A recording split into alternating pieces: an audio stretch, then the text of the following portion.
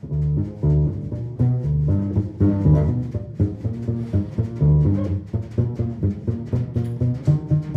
tonight, we have a really great, great, innovative, exciting, I'm thrilled presentation from Joel Murphy and Conor Russomanno about open uh, brain-computer innovation, innovation? Interface. Interface, brain-computer interface, sorry. Um, and I guess we have a test subject. And this is going to be filmed for reuse later. Um, and uh, one of the mandates of the Volumetric Society, one of the things we do focus on is brain interface. We've been, um, uh, we um, sponsored a few months, a year ago, um, we co-sponsored a, a brain, you call it, a hack? A hackabrain, and we've had Yehuda Duenyas, who um, made the um, Ascent. We have, have had in here. We've had um, Dr. Suzanne Dikker, who's worked with Marina Abramovic on a project here. So one of our sub-focuses is the brain.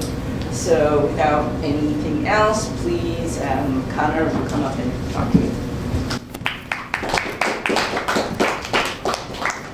Hey, how's it going, everyone? Um, There's Joel over there. He's my fellow OpenBCI co-founder. Um, So first off, thanks a lot to Culture Hub and the Volumetric Society for helping pull this all together. It's uh, really good. This is our first uh, kind of uh, promotional physical outreach since the launch of our Kickstarter, which is going really well. So don't forget to check it out. Um, so before I continue, I kind of want to do a little bit of querying of the audience. Um, who here has worked with brain-computer interfacing before? Maybe about 10%? Cool, that's good. Um, how many artists do we have in the crowd?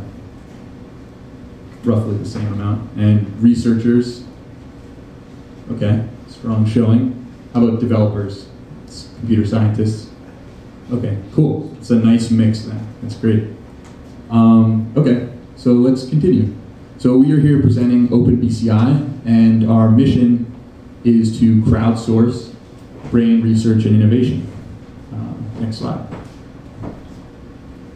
So what is BCI? Um, big old question mark over our logo. Um, you- next slide.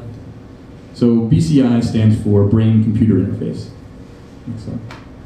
And so a brain-computer interface is really any means of taking information or data or imaging from the brain and translating it into something that a computer understands and can make sense of. And so this is this nice, cute little graphic that was actually done by Augustino over there um, for kind of visualizing what's what's possible with you know linking the brain to something that can translate it or relay it into a signal that a, that a computer can understand, and then the computer having outputs to control other, other things, which is you know the eventual goal of this whole endeavor. Uh, next slide, please. So there's there's a lot of types of brain-computer interfaces right now that exist, and they range from they're they're generally classified from invasive to non-invasive. Um, so here we have an example of electrodes being placed directly on the surface of the brain, which is obviously not as safe. It's a little bit riskier, uh, and that's that's referred to as electrocorticography. Then there's fMRI, which is a little bit less invasive, but it requires you going inside of a machine that weighs a lot and uh, takes a lot of time. And then on the least invasive end of the spectrum, we have EEG, which is what we're going to be focusing mainly on with our presentation. And there's, even when it comes to EEG, there's a large spectrum inside of EEG ranging from medical and research and academic grade EEG equipment to commercial EEG, which is what you can get, you know, as an everyday person or as a developer. Uh, next slide, please. So EEG is the measuring of electric potential from various points on the scalp, and it can range from anywhere anywhere from using a single electrode to up to 256 electrodes. And um, generally, it's it's sampled at a at a sample rate, and then the signal or the voltage is looked at over a period of time, and what, what researchers or what people are looking for is, is a fluctuation in this voltage over time that produces a waveform. And these waveforms can be um, analyzed using uh, signal processing techniques or data analysis techniques commonly FFT or fast Fourier transform, which is also used in analyzing audio. Um, but these are ways of classifying brain waves into power bands or frequency ranges, which are then used to be uh, connected to various states of mind or, or, or activities or um, stimuli that, that produce certain brain activity. Uh, next slide, please. So before I continue, or, or what I'd like to do is show you a really cool video that kind of it touches on a lot of different applications of brain computer interfacing that have already happened. Um, and I'm going to talk over it. Oop, go lower left. Okay, cool. So here we have um, a woman that has a has an electrode grid actually implanted into her brain, and she's a fully quadriplegic. But these researchers at Brown built this system that allowed her to actually drink coffee, which is pretty wild. And now this is a brain-controlled car, which they didn't test on a real street, but they got it working in a parking lot uh, using classifiers to detect motor cortex of the brain. And here's a quadcopter controlled by a researcher at a university. This is a, a toy that this group Puzzlebox built. And here we see the, the introduction of brain-computer interfaces into gaming. Um, so this is World of Warcraft for those of you that don't know. Um, but this uh, researcher down here and developer built this interface to play the game and control the characters and have them do actions in, in the, the virtual world. Uh, here's one of the cheapest EEG systems that you can buy, and it's a toy that measures attention. Um, this is the introduction of brain-computer interfacing into art. Here, this group uh, with a project called Neuro Knitting, they would record brainwaves in real time and have it stitch uh, what stitch the brainwave into a scarf. And here, as Ellen mentioned earlier, actually, this is the Ascent, which was um, a project in Brooklyn, I believe, in the Navy Yard and it was a, a levitation generated by brainwaves. Excuse me, could you step back to the steps? Sure. Oh, sorry about that. And then here we have some quantified self uh, initiatives to track brainwaves and get feedback about your state of mind. So you can see that brain-computer interfacing has made its way into a lot of different domains. Um, cool. Back to the presentation. Great. Um, so next slide. So what's the catch? It looks like brain-computer interfacing can already do all this really cool stuff, and so why, you know, why create OpenBCI? Why open source it? Uh, next slide, please. So there's this equation that I came up with that I think defines the brain-computer interfacing uh, existing design challenges, which is that the functionality of a brain-computer interface is equal to one over its usability. Um, next slide. So here's a great example of a very happy gentleman. Uh, he's probably the only happy gentleman that's ever worn 256 electrodes on his head. Um, but you can see how that if you're looking for a lot of really good data, it becomes pretty cumbersome pretty quickly if, you, if you're looking for a lot of samples, or a lot of sample nodes. Next slide, please. So here's this graph that actually, you can't really see the bottom of it, but the, the x-axis is usability and the y-axis is functionality. Sorry, I'm stepping forward again. Um, and here you have this, this kind of array of existing, existing brain-computer interfaces ranging from research to um, commercial. And the truth is, is I, you know, this is kind of this thesis I've come up with, is that brain-computer interfacing has not been pushed into the practicality range. And so what we have is all of these, these units that go from somewhere on the functional range to somewhere on the usability range. Um, so next slide. So I think that what brain-computer interfacing needs in order to become something that people actually take seriously and people use in everyday life is some initiative somewhere on the spectrum that pushes brain-computer interfacing into the practical range. Um, next slide. So here I, I started to create a list of design challenges of brain-computer interfacing. And I know this is way too much text on one slide, but the point I'm trying to make is that there are almost an infinite number of design challenges that go into the data flow from you know, a neuron discharging an electron to something that a computer outputs. And the truth is, is that, that, that um, all of those design challenges can't be solved by a single institution or a single field of science. And what's really exciting is that we have this ability to crowdsource and open source problems now where you can get people from a lot of different disciplines working on the same problem together. Um, so next slide.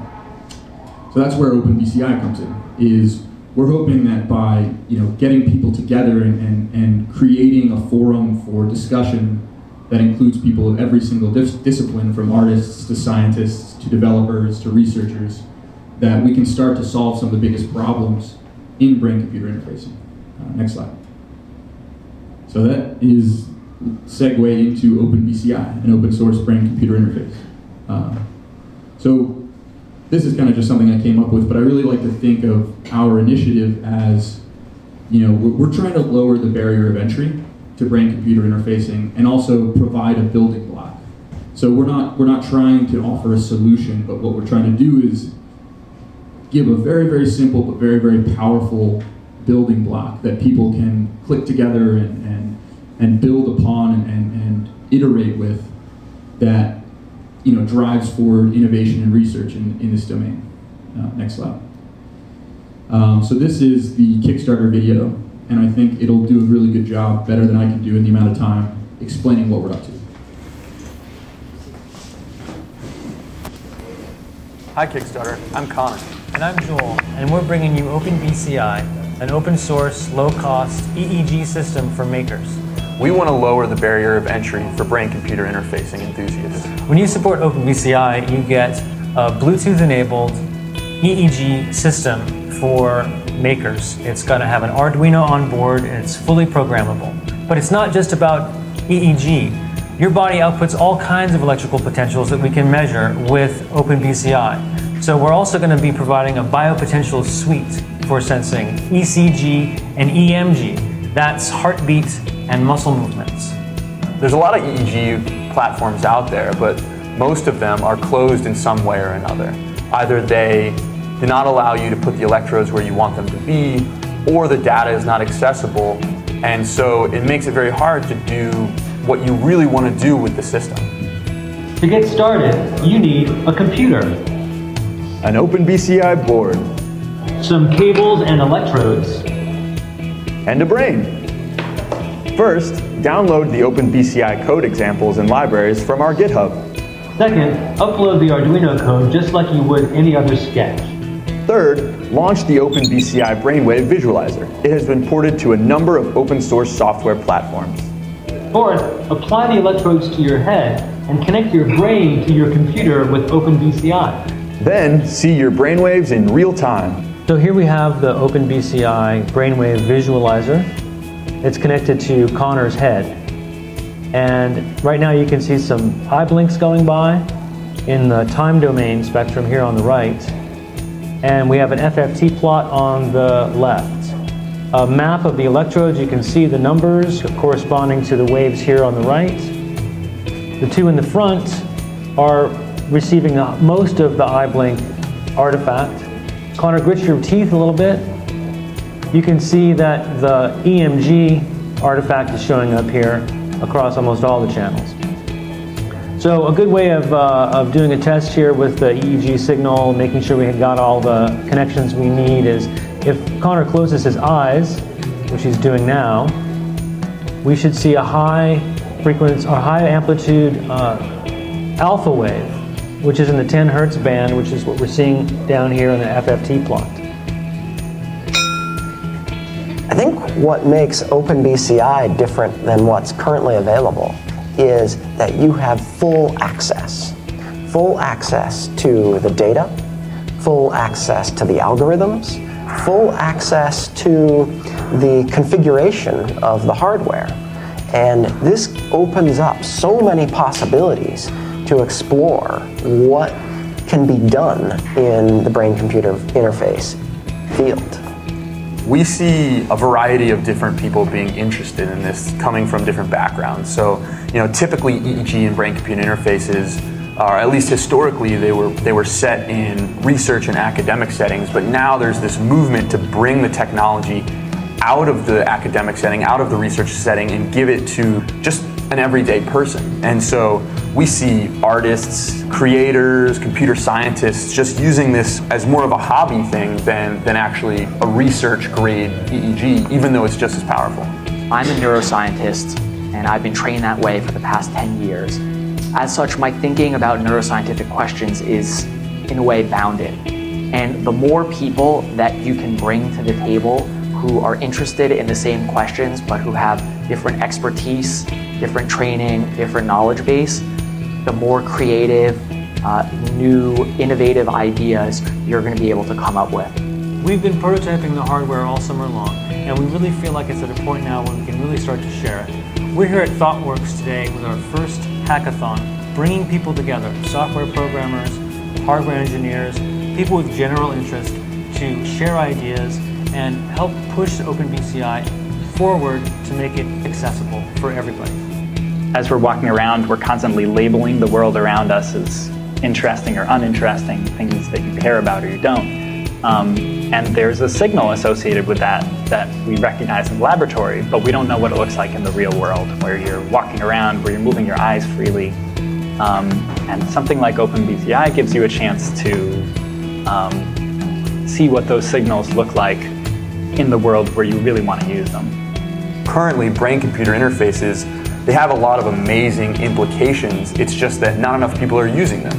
And so our mission is to not only sell a product, but teach people how to use this product and host hackathons and meetups and share knowledge about brain-computer interfacing. So thanks Kickstarter. We really hope that you support our project.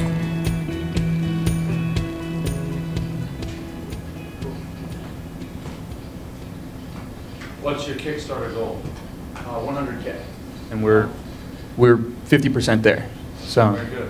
When did you start your Kickstarter? we launched it last Wednesday. So we're doing, we're on a really good pace right now. And um, how long are you going to have it up? Through January 22nd. Why artists? Why is artists involved in it? What artists can contribute to this project? Uh, that's a great question. Um, Think differently than you did. I think that uh, exactly. I think artists, um, you know, can can take the the data and visualize it and re- represent it in ways that engineers can't. Especially, especially one one design challenge is making it so people who don't have a background or an education in this can understand it and visual learning a lot of people are visual learners and i think that artists have a strong role to play in actually um, making people understand how these systems work. Um, so yeah. Uh, next slide please. We'll do q&a at the end. That was a great question. Yeah no problem. Um, so i'm going to introduce joel now and he's going to take over for the technology overview. He is our king of hardware. So. There you go joel. Thank you, Conor. Hi, I'm Joel. Thanks, everybody, for coming out. Um, uh, so I was uh, going to take you through the sort of the state of the art that we're using and the hardware that we're employing and kind of why and what it does, what the capability is. So let's just get right to it. Show the next slide. Um, the business end of what we're using is a chip made by Texas Instruments called the ADS 1299. And it is literally an eight channel EEG system on a chip. It's designed for low uh, voltage signal processing. It has a 24 bit uh, analog to digital converter, and it has very, very low common mode noise insertion into the signals.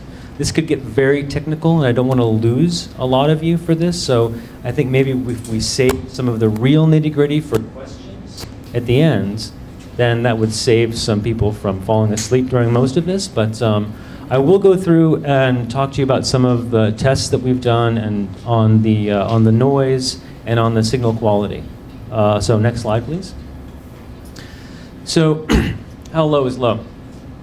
The graph on the left here is from the data sheet for the device. And this is saying that we have, uh, using a gain of 24, uh, this is to measure the common mode noise. This is where we connect the input to ground, essentially, and run it for 10 seconds and see what kind of noise value we get. the, the data sheet says that the noise should be 0.15 microvolts. Our test, similar setup, 0.16 microvolts. So we're sort of right there where you'd expect us to be if we're doing everything correctly as far as the board design and keeping the noise low. Okay, next slide. Uh, this is an example of another longer uh, test of the noise of the device. And all this work, this research was done by our uh, research and developer at large, a fellow named Chip Audette up in uh, New Hampshire. Um, so this is the, the, the Y portion of the graph is showing the noise density in microvolts square root hertz. And here we are in the frequency domain, right? We have a very, very low noise floor up in the higher bands. In the lower band, where you expect to see noise in uh, ADCs, we do see the noise creeping up in the 1 over F, but it only gets up to about 0.5 or so down at 0.001 hertz. So we're able to measure very, very low frequency signals, which has some application in EEG studies, in um, PTSD therapy. I've read about probably a few others that maybe some of you know about. Okay? Next slide.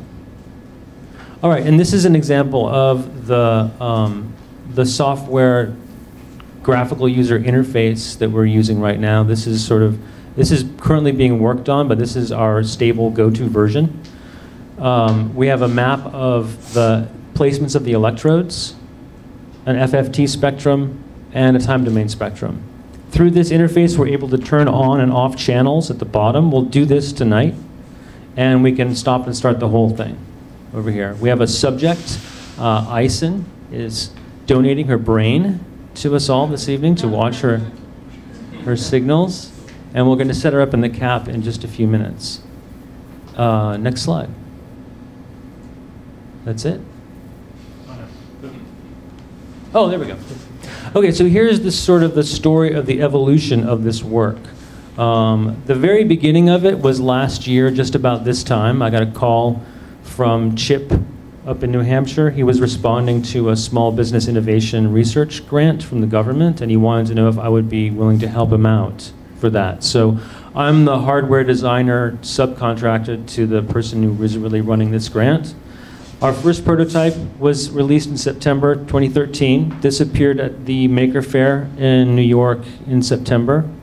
Second prototype came out soon after, actually late October, early November of 2013. And our goal is to produce the third prototype in this winter and release it in the early spring.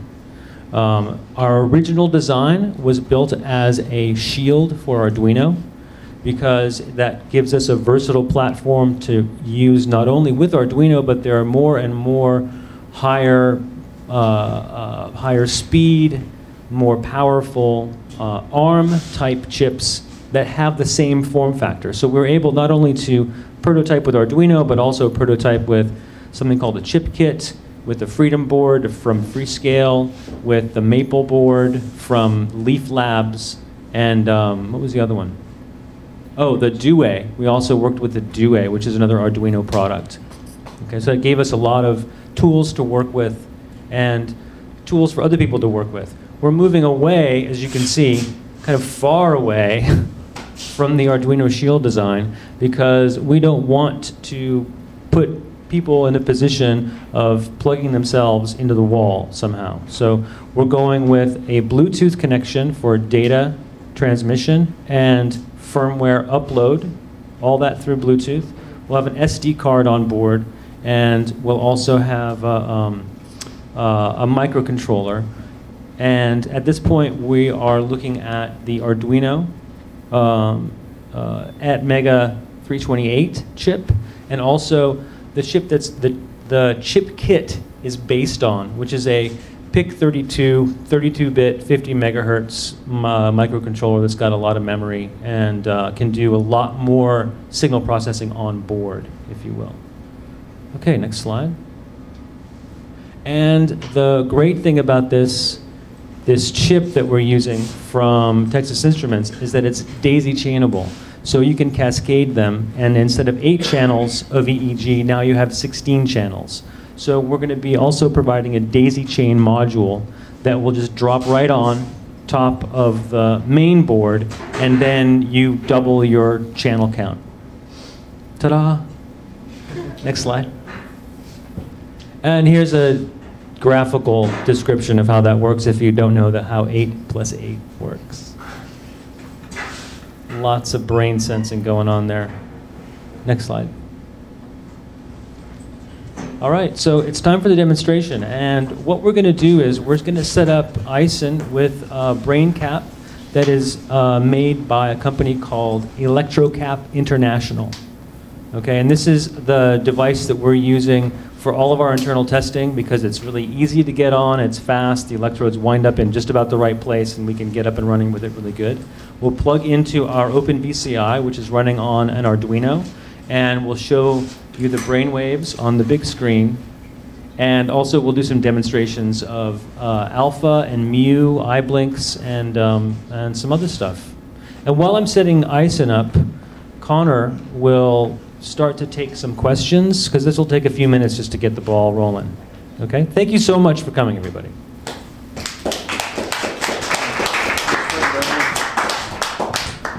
How's it going? So I'm going to do like a Q&A while I kind of, if I interrupt people, I'll be describing something important that's going on. Do you have a sense about how much information you can actually read like, in terms of bits per minute or second? Or is there a way to quantify what you think is actually usefully, usefully available in the signal? So that's a good question. We've, um, we've tested the eight channel board sampling at 512 kilohertz, or 512 hertz rather. Now the, the ADS 1299 chip can sample uh, up to 16 kilohertz.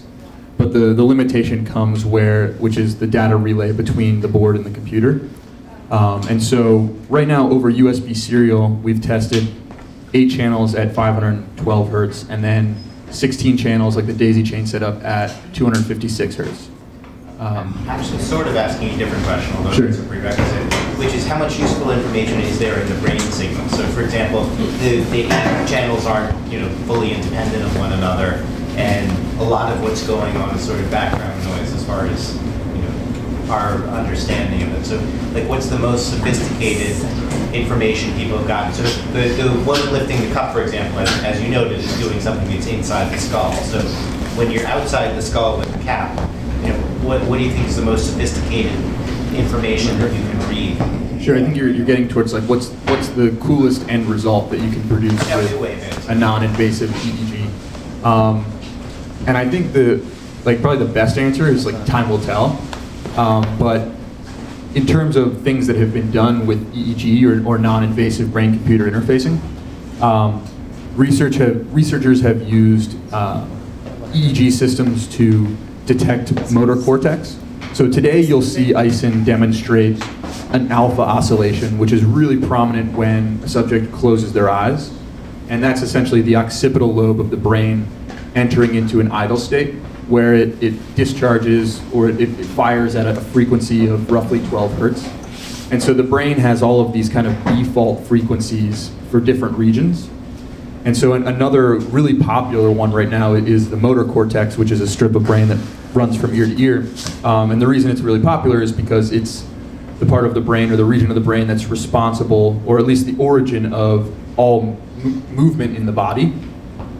And so what people have done is they've started to classify these signals to translate thinking about moving into a virtual object actually moving around a screen. So in the video that we watched of the examples, uh, there was the, the driving car and um, you know the, the helicopter moving around. And so that there's a huge um, software side solution there, which is the machine learning that goes into someone sitting down at a system and the system listening for a specific brain state when someone's thinking about a certain type of output, and then recording that so many times where you can compare a brain state to a baseline brain state, and then flip the switch where the system can now detect right versus baseline and left versus baseline, forward versus baseline, and then detect all four of those against each other and a baseline. So there's, you know, there's machine learning is a huge aspect or a huge design challenge in this. But yeah, I hope that helps or answers your question.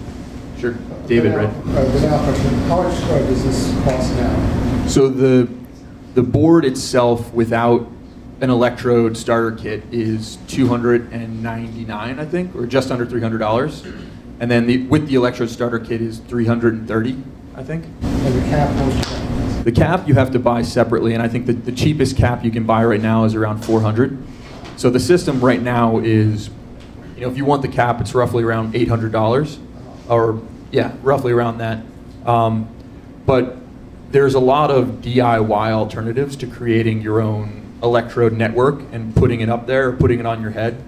So you know, when I was at Parsons, the way that I met Joel was I did a, I built a, a BCI baseball cap that had embedded electrodes into it.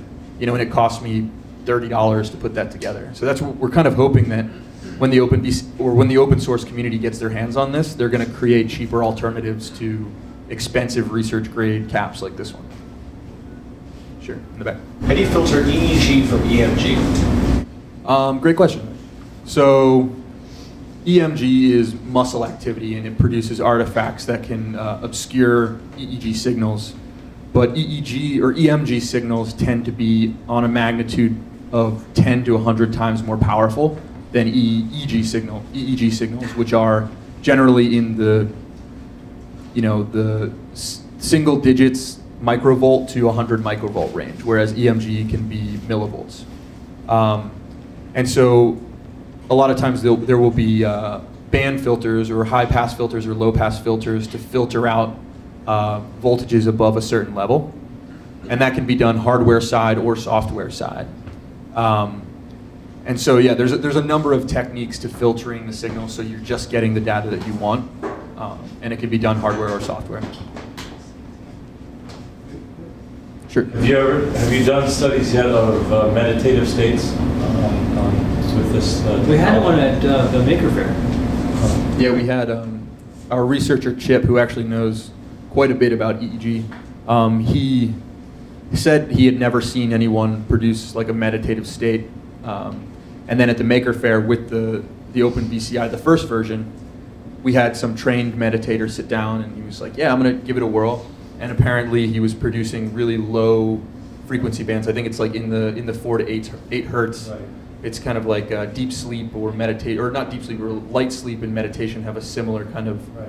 Uh, I think it's Theta? theta theta profile. Yeah. So, and he said that he was able to see it, which was pretty amazing. Is this thing compatible with other platforms, like hardware-wise? Is it like Arduino? And software-wise, is it like SDK for Android? Sure. So the right now it's it, the hardware code is is built with Arduino. So we have an Arduino library that you can just upload, um, and then our the first graphical user interface that we built was in processing, which is a Java library. Um, we're working right now on Open Frameworks or a C++ version of the same interface. There's a processing, or not, a, or a Python version that's out there now as well. Um, and so the idea is to build template frameworks in all of these different programming languages that people are comfortable with, which are essentially just ways of visualizing, visualizing and receiving the data in a, in a well-organized data structure. And so that people can choose or, or pick the language that they're most comfortable with to begin devel- developing their own applications around the hardware.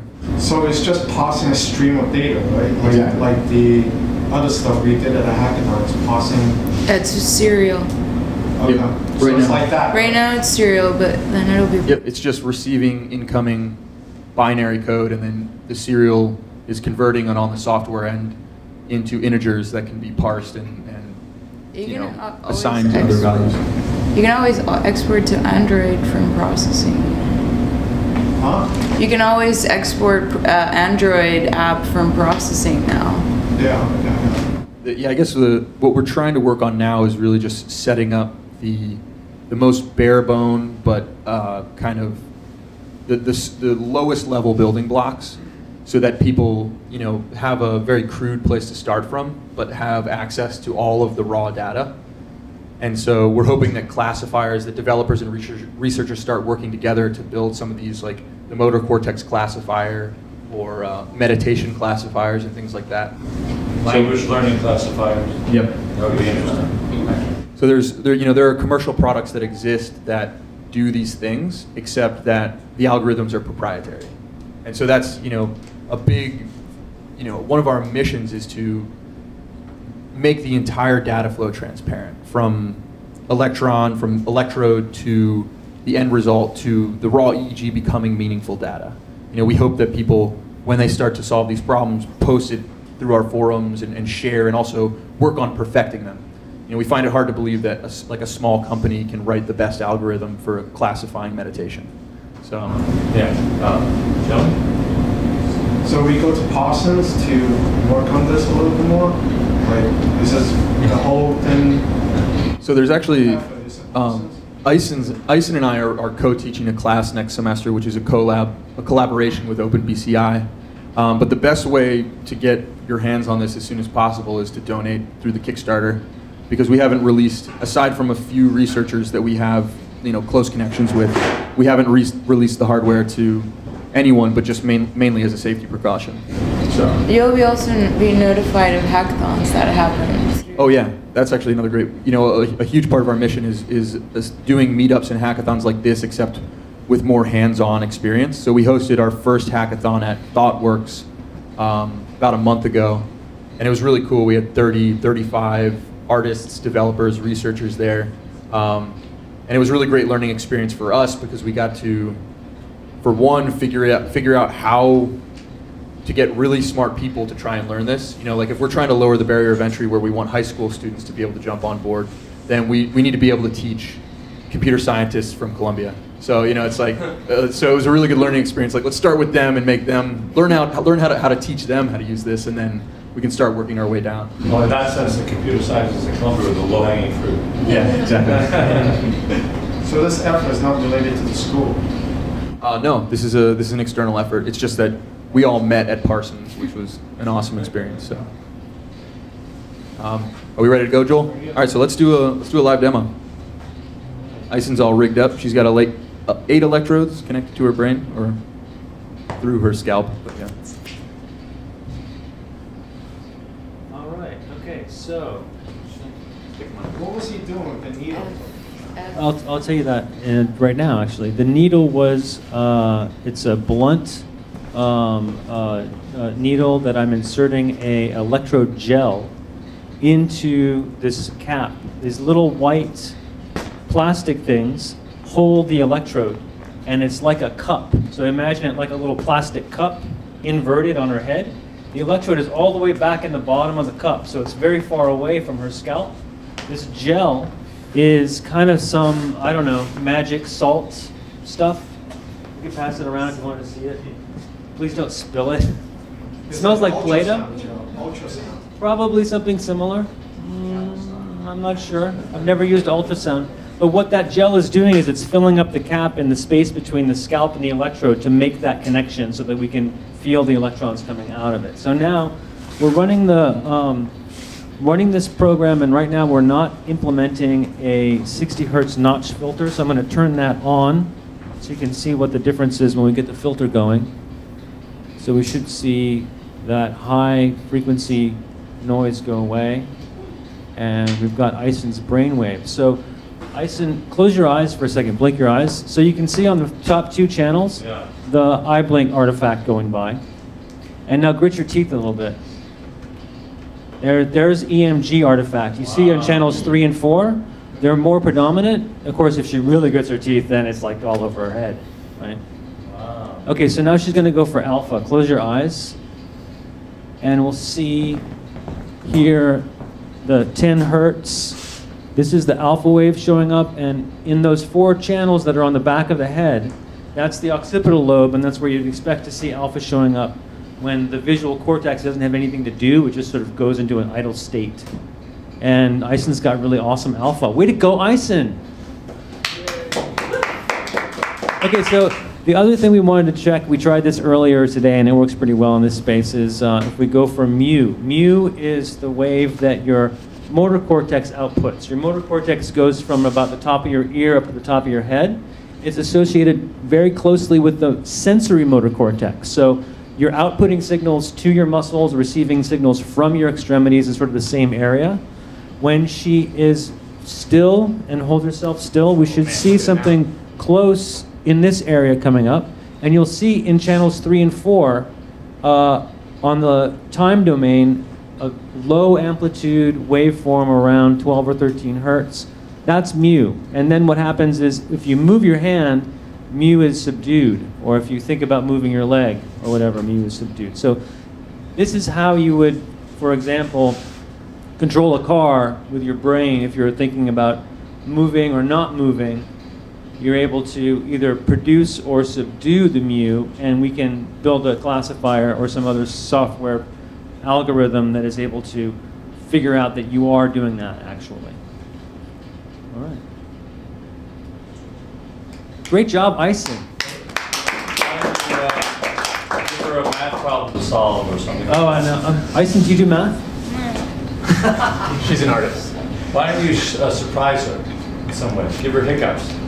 Can you give someone hiccups? I don't know. Do something that we could see some real. Think of the color red. All right. Just think red. Think of the color red Ison. Wow. She's got her eyes closed. Now so think of purple. Showing up. Yeah. Think of color purple. Purple. Is this program Java? This is written in processing. So yeah, if you, you can write Java, you can write You really see movement. move Yeah, look, this is. That's when she moved the stops. Look. Yeah, look at It's that. gross Yeah. crazy. Move her stops. So So that's uh, that's not good, right? So there's just a lot of movement noise. Yeah, that's. Okay. Tell me a lie. I'm Tell me a lie. 23. Ah, You're 23. Yeah. Tell me the truth. I'm 26. what's the difference of the, you think of I love you or I hate you. What's the difference? Oh, I just broke up with my boyfriend. Let me think of it. Can this work as a lie detector? That's funny. Apparently not. Someone throw something in. Um, Is this culturally determined or gender determined? Is what cultural The brain waves and the mapping. I have no idea. There, I mean, I think because of neuroplasticity, uh, there must be some sort of cultural, social uh, impression that is reflected by the brain. It must be because we know about neuroplasticity. I don't know about gender per se. It's a tough one. I don't think I want to touch that one actually. Definitely not good for investors. But you say there's a difference among genders? Like, Oh, I didn't say that. I didn't say that. No, there is no difference. Where does uh, You said it's a They said no such thing. There should be. Someone says there should be. Yeah, should be good. oh Because the different, uh, there are different thought patterns we have, and our brains uh, act, act different. If it were a We guy, have it'd be going different- crazy. These And our theory is one of the biggest. Um, yeah, it's like Any other the- experts in the gender differences? base of there? our, uh, There's physical differences, of our right? thoughts. Should it imply something like that? Uh, the, there will be individual differences, and uh, you know, because like everyone develops ever so slightly differently, and so you know, uh, electrode four like will be getting more or less back, you know, backwash from like different parts of the brain, just because everyone's you know, the motor cortex is ever so slightly different than anyone else's. So I mean, yeah, like there will be differences within individuals that you can like compensate for, you know, uh, j- j- just based on like messing around with it. And you know, the differences between individuals might be, might not be any, you know, more than like the average difference between the genders. So it's not really so much a gender difference thing necessarily than a, you know, individual difference thing. right. Yeah, that's, that's true. It, it is true that the, the placement of the electrode is super important in all of this stuff.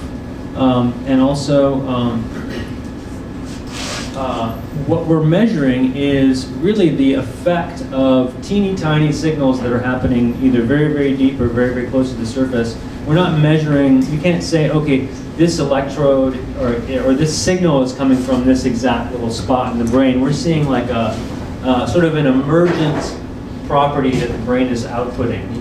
We're seeing a very, very large signals. We're not able to pinpoint exact stuff. So then, so maybe it's true. Maybe we are all the same, just a little bit different. You know, guys is testosterone and girls is like progesterone. Am I right? That's hormones. Estrogen, estrogen. yes. Tofu, tofu, estrogen. Tofu, I know that. I know that there's a difference uh-huh. between children and adults and elderly Oh, yeah. brainwaves. More, more than anything, like for example, kids uh, stay in the theta stage um, during normal, you know, because theta is like semi-awake, same, like uh, not completely asleep, still alert, and there's a lot of creativity in play that happens in that wave, and so kids can be awake and be in that state, but adults are uh, don't have that as much. I think. I- It, it, it's worth pointing out, there's a difference between asking the question, are there differences between the brains of men and women, which is already a hard question, and then can you see such differences with this technology? So you might think of this technology as looking through the brain through a fairly blurry lens. There's only eight locations you can think about um, in a brain scan image, an fMRI brain image, you would have much higher resolution, although you still wouldn't be able to zero in on the individual neuron. So this is kind of a coarse way of looking at the brain. It's very good in the time domain. You're getting a lot of samples um, every millisecond in a way that you wouldn't with fMRI. So there are different trade-offs with different technologies. When you're asking, can I tell the difference between a man and a woman, you're saying, through the lens that I'm looking at, can I detect the difference? There may be differences you can't tell with this lens. As far as I know, I don't know much about this technology. For most stimuli, you probably wouldn't see a difference between men and women. I bet if you showed naked pictures of women, you'd get a different response. Even with this, for men and women,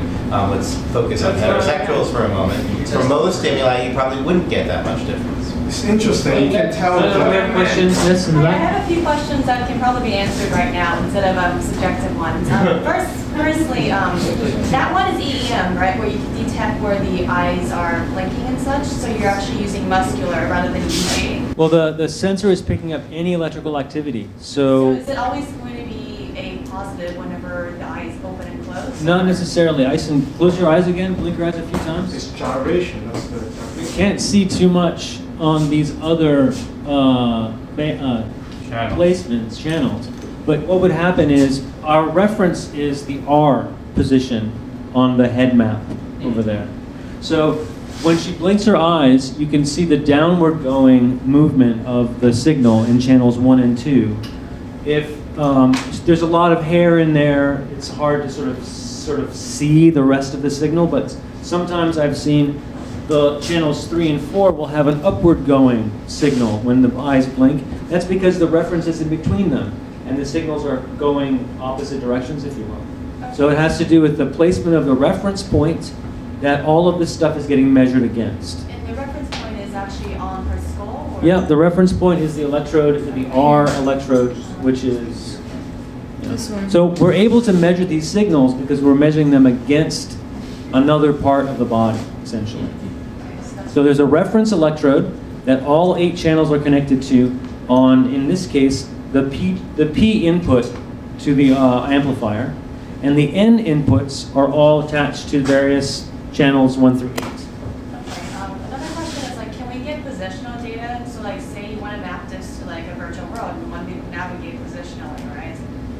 Can any of these be, um, with like ninety percent certainty, nav, uh, mapped to like, you know, move left or move right or something, or? Um, that's the thing that we're talking about trying to pull off, is if you can build some sort of an artificial intelligence or a classifying system that would be able to make this kind of determinations, then yes, you could. I mean, we saw the car being driven by the brain. Um, people have been able to hack into World of Warcraft with uh, EEG rigs and play with their mu signals, play with their motor cortex, uh, and moving parts of their body to move around the virtual world. So world. you currently don't have a mapping from, I guess, the signals to motor cortex? We don't have that yet. Uh, just hold on. And then you, yes? Um, given, um, no, nobody is saying everybody's individual, but how fast do people learn?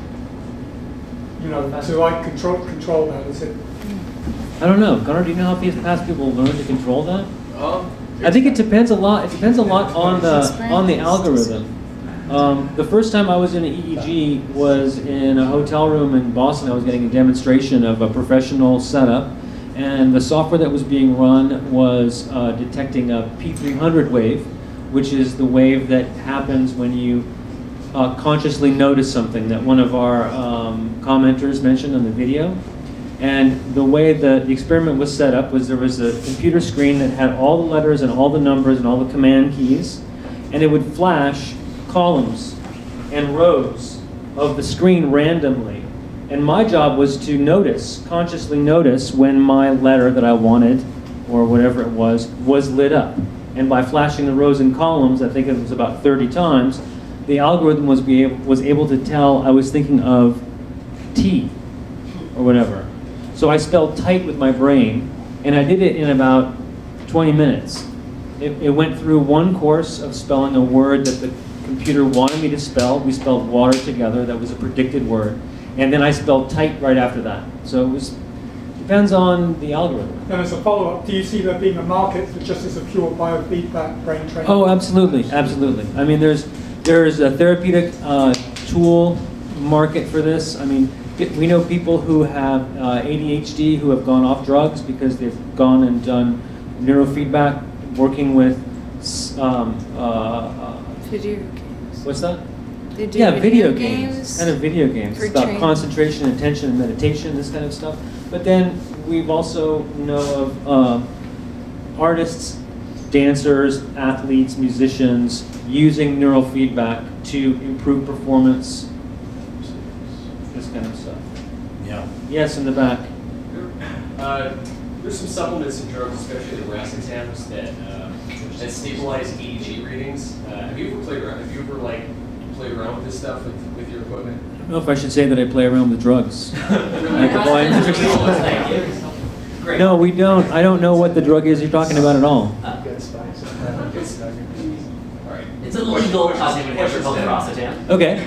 Same thing with marijuana. So legal cognitive enhancer. Yeah. No, we have not had a chance to do anything like that. We're, we've just been trying to get the regular old normal signals to come out. no, I, I I asked because like when I was playing around with uh, playing around with some Emotiv chipsets, um, I noticed that it did have enough of an effect that like I didn't need to work on a circuit. You know, I didn't need to do the circuit somewhere. Oh, interesting. Okay. So it's possible that some of these um, cognitive enhancing drugs that are legal could help in, in development of some of these. Well, actually, the legal ones might help too, you never know. You if the illegal ones might help too. Uh, speaking of Emotiv, how does how do you feel this compares to Emotiv or NeuroSky or any of the consumer I think I got, Conor's going to answer that question because he's an expert in this field. Thanks, Joel. Um, so, Emotiv's first product, the EPOC, or the EEG, had, I believe, 14 sensors. Um, the biggest difference is that with OpenBCI, you have access to all of the data.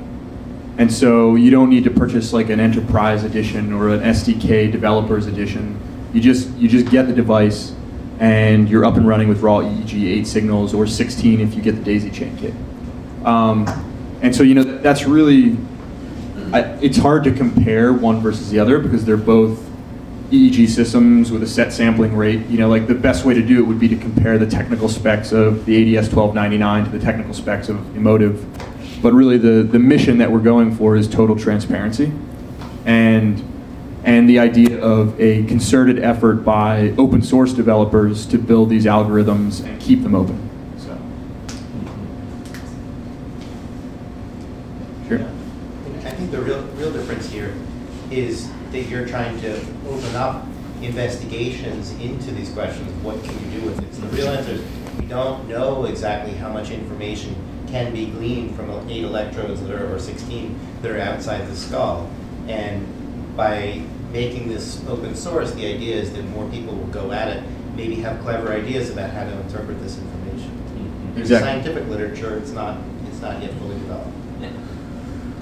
So in, in terms of analyzing the signal um, and converting uh, that analysis to some type of action by a computer, you know, some third-party device, um, are are you are you looking for you know the same signal multiple times? So let's say you know turn turn right, and you're thinking it three times and looking for a repetition of the pattern, or are you trying to get it to work on you know the first instance of, of that pattern? A a lot of it is statistical.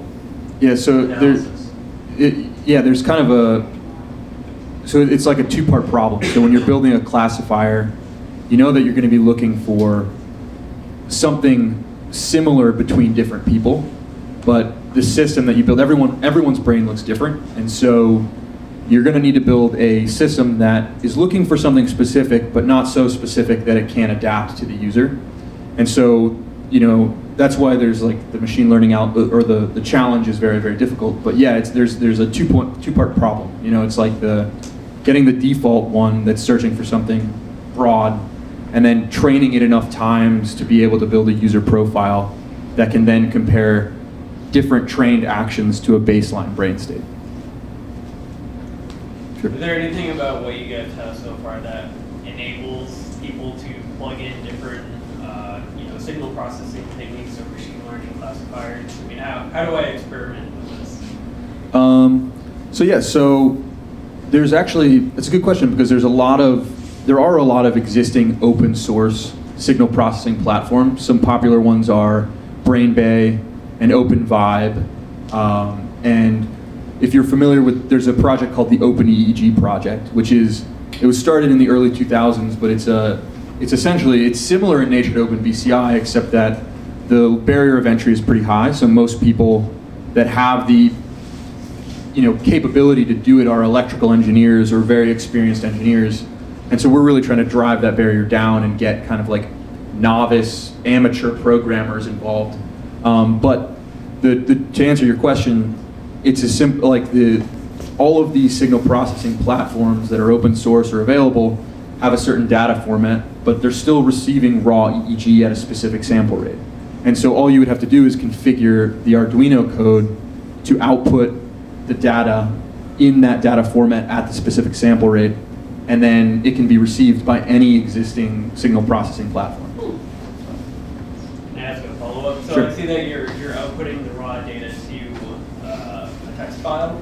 Mhm. Uh, so do you guys envision like creating a library of, of these? Because really, you can, if you don't have the hardware, and you just want to play around with uh, classifying the data, if you just have that, that raw data available across all the open source developers, that could be a, a, a big win too. Yeah, thanks for asking that question. That's a that, that's a good segue into uh, kind of the future plans for OpenBCI.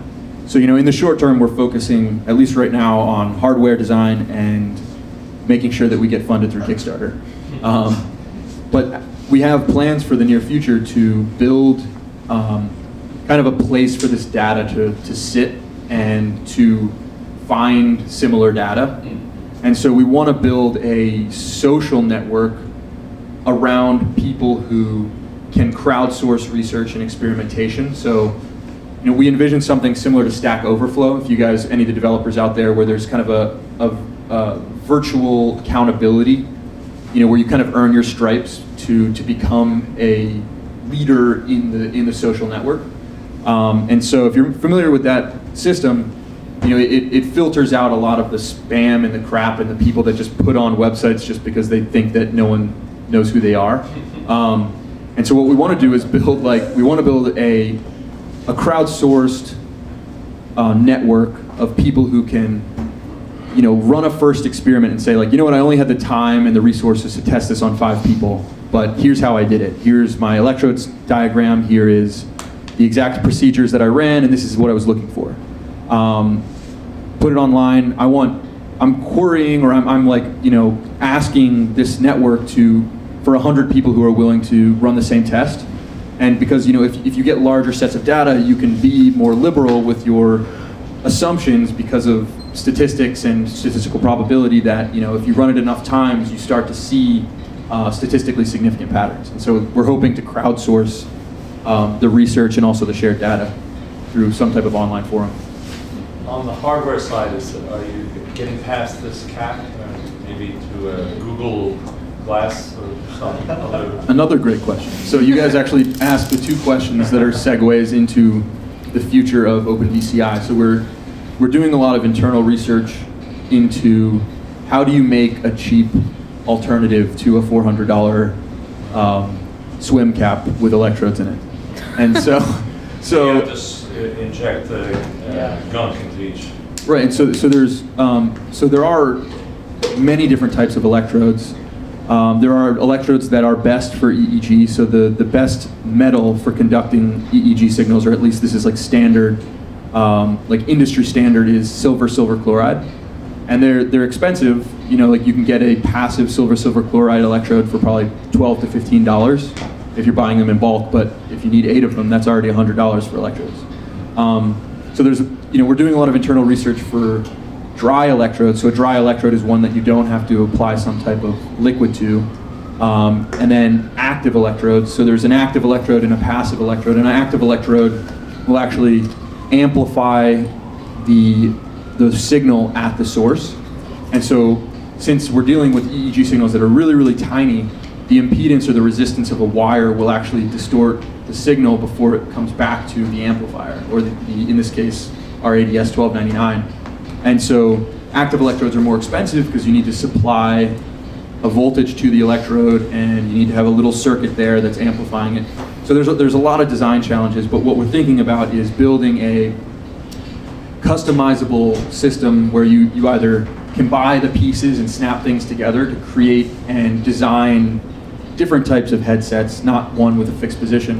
Um, but we're also looking at uh, 3D printing alternatives. So like we think that you know there's this huge craze for 3D printing, but there haven't really been any people haven't really found something cool to do with 3D printing. But we think maybe that if the technology gets good enough, then you could, you know, and this would fit right in with the open source kind of movement behind this in that you could download a template file and just scale it to the size that you want to print it at, like small head, medium head, big head, and then just say, you know what, I kind of want to alter the model and just stick an extra electrode here. You go into, you know, a 3D editing software and you just add the little piece in, and then take it to your like local maker print store and, and print it out.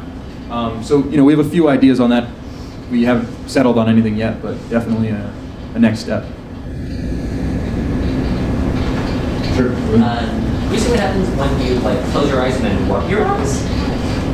What? Like, like um, close your, uh, um, like uh, close your eyes and then like rub your eyes. Like you're retired. Close them and rub them. Yeah, 'cause like, let, let, so you know, when they get into like like the you know Yes, idle state, but then they're yes, being stimulated by. Close your eyes and just let the alpha start to build up a little bit. Give yourself a chance to Yeah. relax. Alpha right there. Okay. Okay, so now just rub your eyes.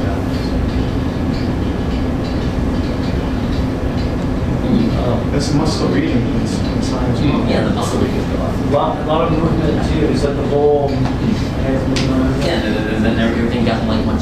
Um, What did you want me to see little stars? Um, yeah, 'cause it- Okay, hold on, that's different. the- the- One the- second. stimulate Hold on. All right, let's Like calm your- Oh, when you talk, there's a lot of Yeah. Is there anything like Well, actually, it's when I was like smiling and talking at the same time. That's the EMG, yeah. She's in.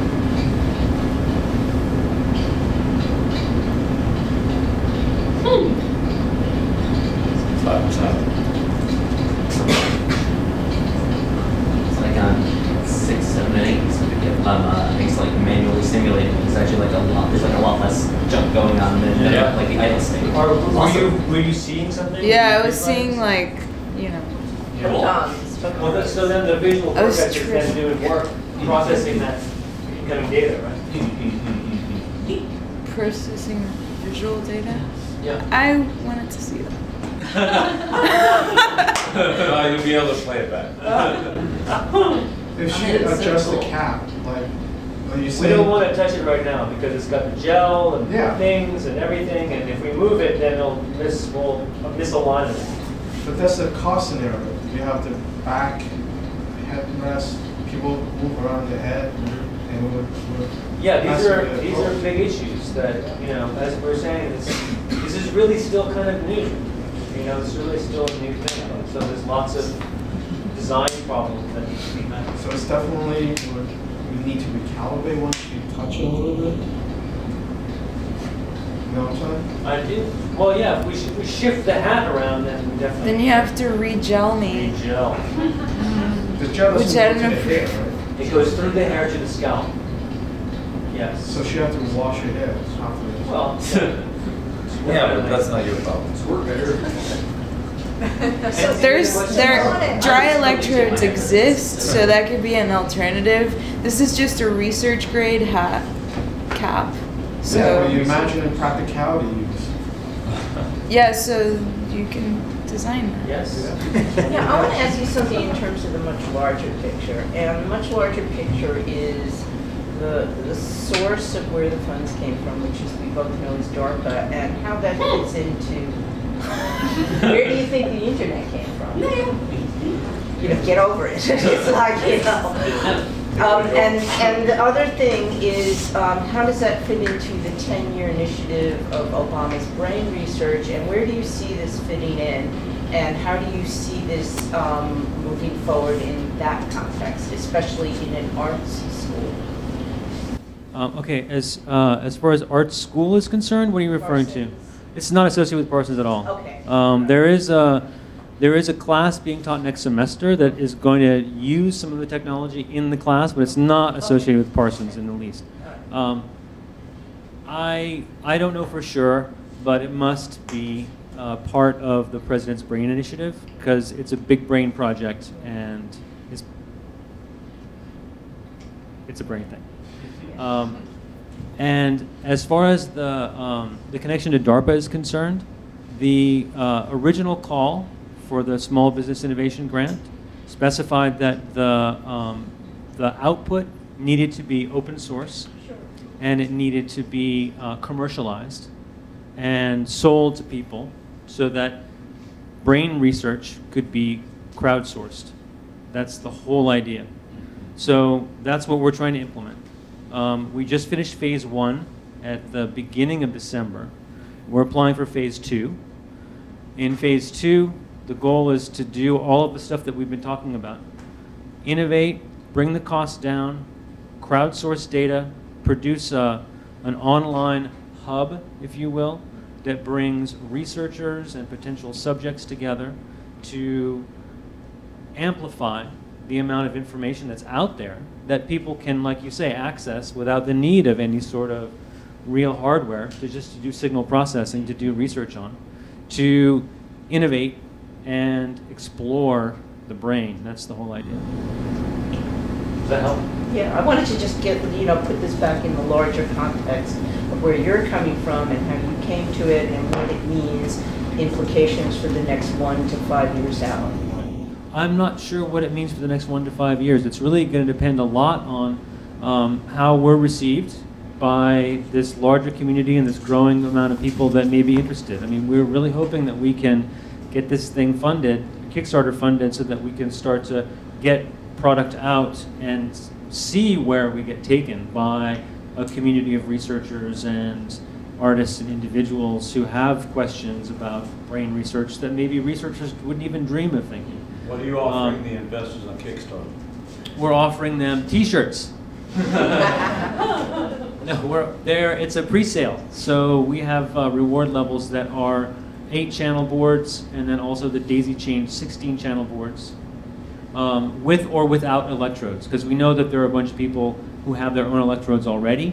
Many of you may not, but as we were talking about, people who are already doing um, neural feedback for therapy or whatever, they tend to have their own electrodes and ones they like and this kind of stuff. So we know people out there may not want to spend the money on electrodes. And how big are your DARPA grants? I'm sorry. Um, sensitive question. I like it. I like it. The original phase one grant is about twenty thousand dollars. That got us through a prototyping phase. and produced uh, a small number of boards that we could research with in house, and that our partners in New Hampshire and in um, uh, Arlington could also see and verify. So now we're at the point where we we're out of that phase. Phase two is not going to kick in until probably next summer. Um, That'll be bigger the same size? It'll be bigger. It'll be bigger. Um, but there's a lot more going on. It's about building a social net network site. It's about going through another round of prototyping to try and drill these costs down. Now, also, also to, to let you know where we're coming from and how we got here, we're using the ADS 1299 because that's what my client said we were using. So not, not the government decided this, but my client said, well, let's use this one. Look, it's an EEG system on a chip. And I said, sounds great to me. so this is where we're at. We're using this device. It's not a cheap device. the chip itself is about $56 if you want to buy one. And if you want to buy a thousand of them, which is where you're trying to leverage uh, Volume. volume, you're paying about $46 for one. So we are trying our best to work a margin for the product that makes sense for us to create something that's sustainable while at the same time providing a product that's accessible for people to use that has high quality, uh, high quality data, but also has a lot of extra stuff that is really useful. There is a, uh, there's a way to detect uh, the quality of your lead contact inside this chip. It's called a lead-off detection. Every time you take a sample reading, the first uh, data word that you get contains information on the signal uh, connection quality. It also produces internal signals for calibration and uh, this kind of stuff. So it really is a pretty fancy thing. It's very useful. It's a, I think it's, even if we end up in the future, three, five years down the road, moving away from this chip, it's a great tool to get out there to make accessible for people to use and play with. Yes? How, uh, you don't, you don't have to answer this one either, because you'll eventually publish your schematics and I can answer it myself, but how much did you deviate from the app notes from the chip in designing? I didn't deviate too far, um, uh, and the app notes were pretty pretty accurate. Um, it's I'm not publishing the schematic. I'm sorry, I'm, I'm publishing this the schematic diagram, but I'm not publishing the actual design files because I don't want to give people a chance to inadvertently plug themselves into the wall. That's uh, there's a real safety concern there, and uh, I'm not an electrical engineer by training, but I'm sure that the Electrical Engineering Society would frown upon that if I did that. Um, uh, so the hardest part about the whole thing is uh, creating a star ground pattern, if anyone knows about designing electronics. Um, and that's going to be something that's really specific to whatever situation you're in. I was designing around an Arduino, which is a weird thing to fit into, you know. Uh, what kind of electrodes does it come with? Does it come with uh, for, like for, on the Kickstarter? On the Uh, Kickstarter, we're shipping it with um, gold uh, electrodes, individual electrodes, and uh, 1020 paste, so that you can place individual electrodes where you want them. hmm, Uh, but like, are they the ones that you have to like gel and stuff? or- No, this would be a, uh, a situation where you would take the electrode, it's like a tiny little cup with a hole in the middle, and you could, you would scoop it up some paste. It's much more like a waxy paste, not like this liquid paste. Well, like And it's that sticks to your forehead or Uh, sort oh, like it's still a thing where like you have to mess It's with like like, sticky thing that- You still have to mess with goo, but we're all, but this is uh, this is going to give you a high quality signal. We're providing you with a tool that's going to get you into real data that you can start messing around with. Uh, and as Conor said, one of our goals is to explore and try to figure out a low-cost active dry s- solution that would be just as good, but we're not there yet. Yes. Uh, Do you see a scenario where this technology evolves from merely monitoring brainwaves to uh, a similar type of hardware, being actually able to alter them? Um, that's interesting. There's been a lot of buzz about this lately. I know that there was a talk that I couldn't get into because it was packed that was about this very sort of thing, which is uh, um, introducing signals to the brain to cause effect. And there are a bunch of different ways of doing it. One is transcranial magnetic Stimulation. Stimulation. Direct current and AC. Right, direct current and AC. Direct current is where you And have very, very low, low currents, microvolts, uh, coursing along your scalp that can, can get into the brain tissue, I guess. And there's apparently clinical studies that prove that this affects something. I don't know. there's- I don't know what it also- is though. There's also a new uh, headset called the Focus that uses uh, direct current, and it's just like 1.5 volts, you know, 0.1 milliamp or something like that, passing through a specific area that's supposed to help you with your brain function.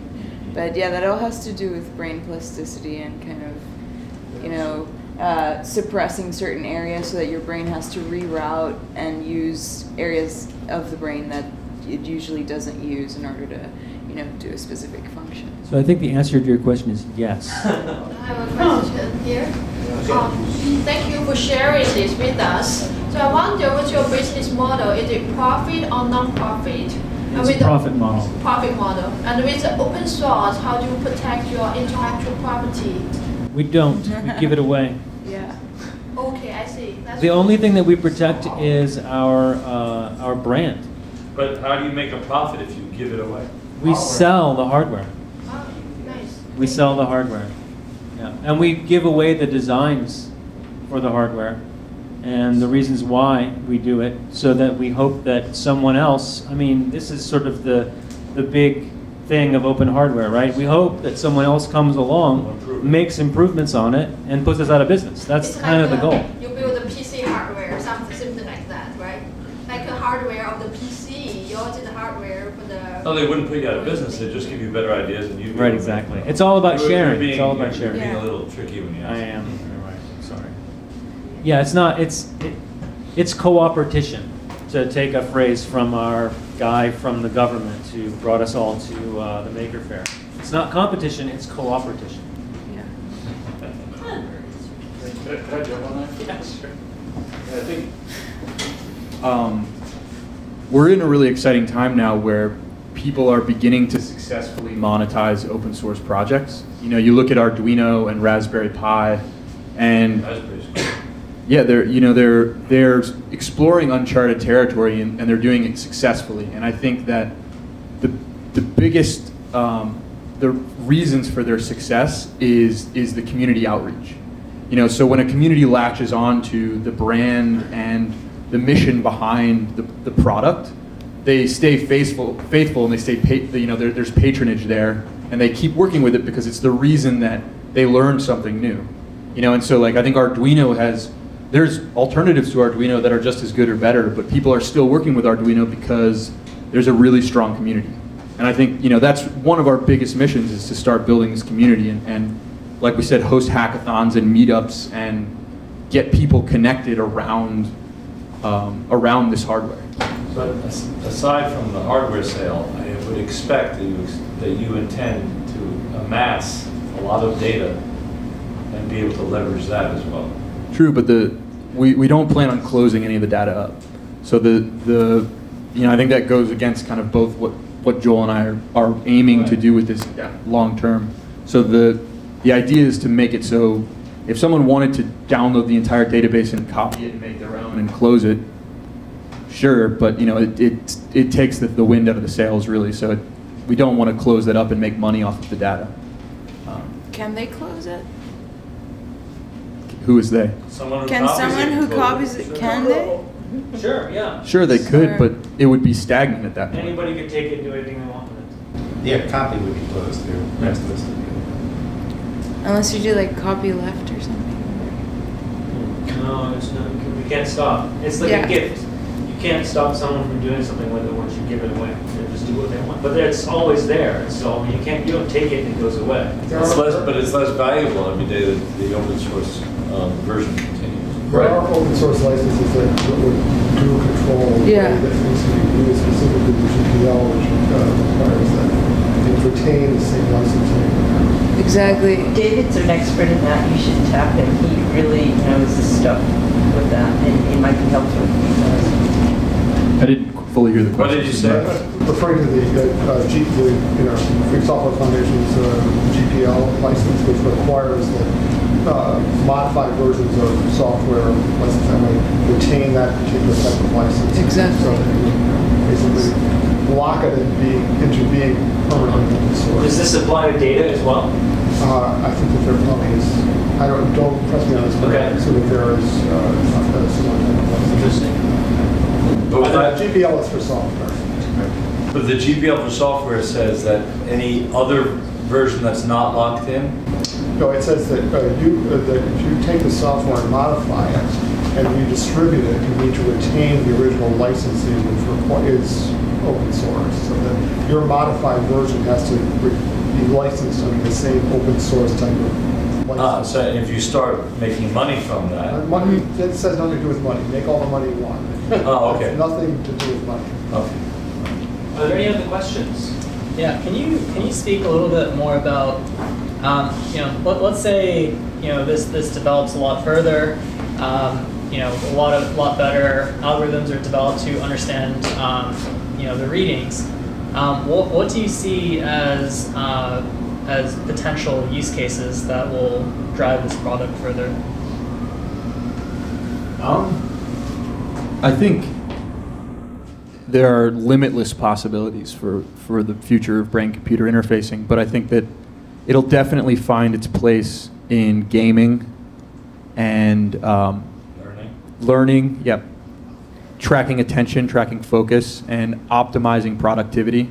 Controllers. Um, I also think that it's going to be, it's really going to be big for, um, for uh, like as we said, like personal feedback. So neurofeedback and kind of understanding how how your stimuli and your environment affect your state of mind.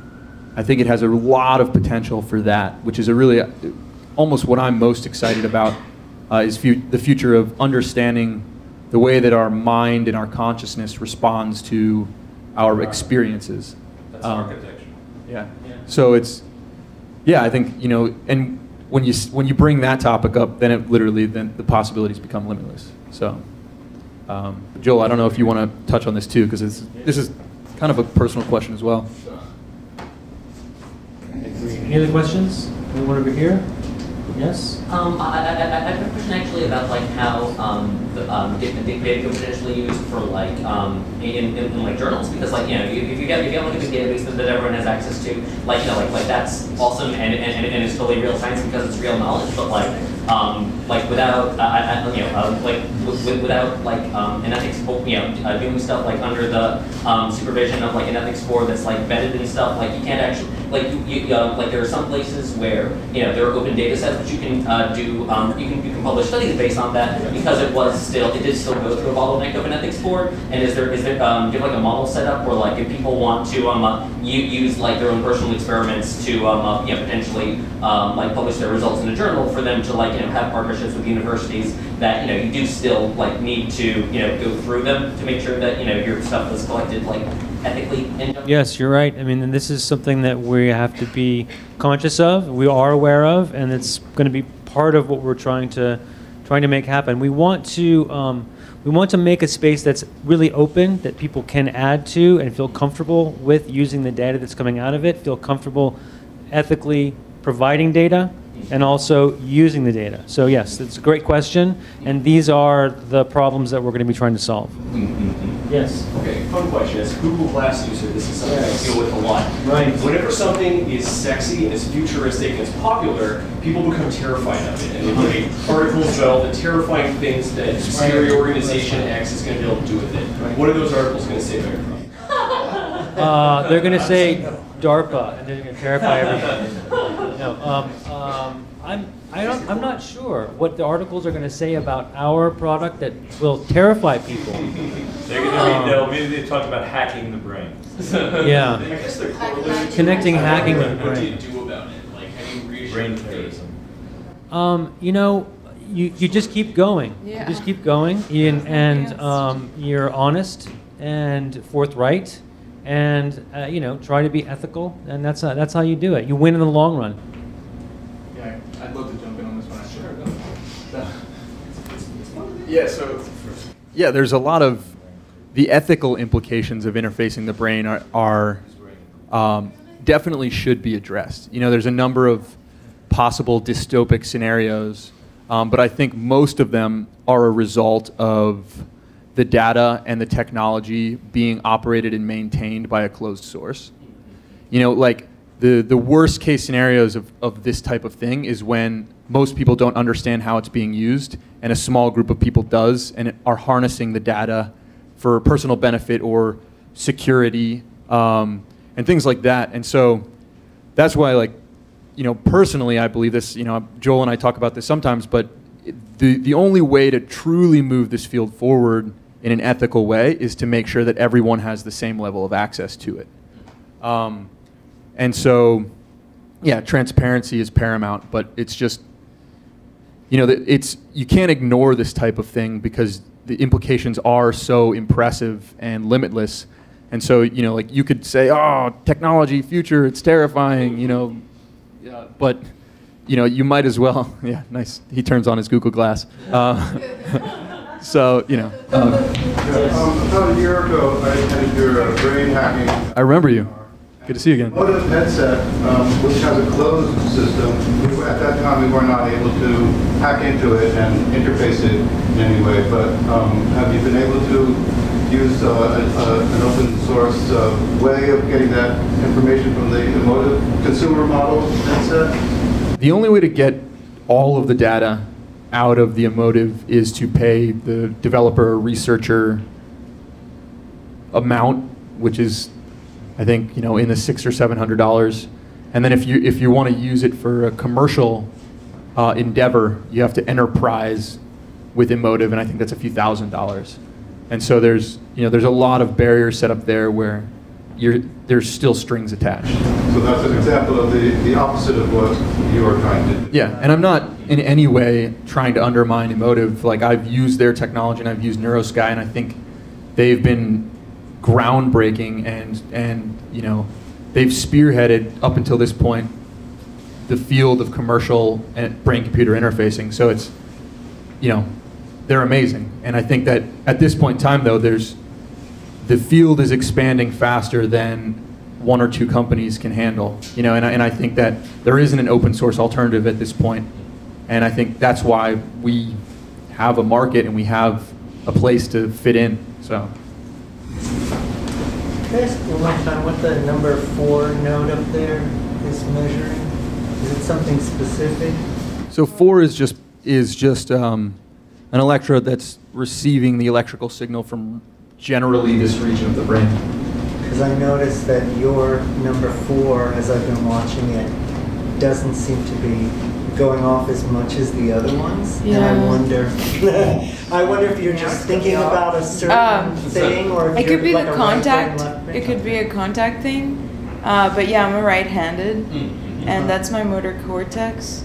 And also, I've been noticing that my that the three, the, the electrode on this side, um, is activated when I move my eyes a lot. So I think hmm. that my left side of the brain is directing the movement of my eyes, probably because I'm using this eye more than hmm. my left eye, because I'm hmm. right eye dominant. I notice it seems It's to also, what I think, at but- certain times, it seems to move in a clockwise sort of around. Mm. Oh, really? The head, yeah. Cool. That's. We're researching brains right now. Yeah. Any other questions? Cool. Well, thanks a lot, everyone. Thank you. Yeah.